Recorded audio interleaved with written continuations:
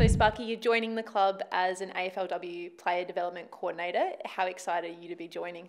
Yeah, it's super exciting actually. Um, this place has been super special for me for such a young age, and now I get to come along here and, and help the next generation. Um, unfortunately, not playing, but um, off field role is, is just as good for me. As you touched on there, Mad Kangaroos fan for quite some time. Tell us about that. Yeah, the whole family. Dad grew up in uh, Kensington around the corner and forced the Roos on me from a, a young age. But um, yeah, here at Arden Street, I spent quite a few uh, training sessions out watching the boys train and, and get signatures and um, wait for them and have a kick out here. So yeah, many, many great memories out here. Although a lot newer these days, but still great memories.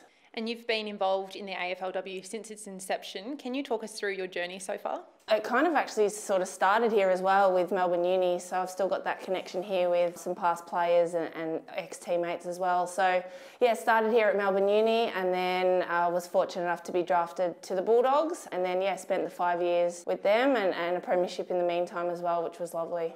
So you would have quite a close relationship with some of the players here. How much easier does that make it for you to transition into the club? Absolutely, with like obviously a few familiar faces around and makes it a lot easier and a couple of ex-premiership teammates as well in Em and Jen and Daria as well. So uh, I know those guys and then you go to like Kaitlyn Ashmore as well, ex-Melbourne Uni teammates. So yeah, it makes it a lot easier but obviously some new friends to be made as well. And in your player development role, what are you hoping to bring to the club?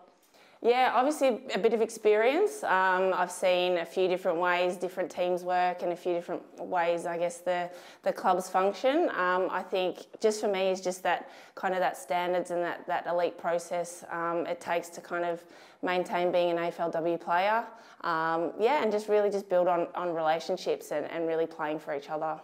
And you've been quite involved as well off field in the community space. How important is that I guess, from your point of view, to have that holistic approach to football? Yeah, I absolutely treasured my time at the Dogs working with the Community Foundation there. The amount of things I learnt, the people I met were just so awesome. And I, I actually just met the CEO and the Huddle CEO. But no, I am very excited to be involved in that community space moving forward. Beautiful. Welcome to the club, Sparky, and we're so excited you're on board. Awesome, thank you.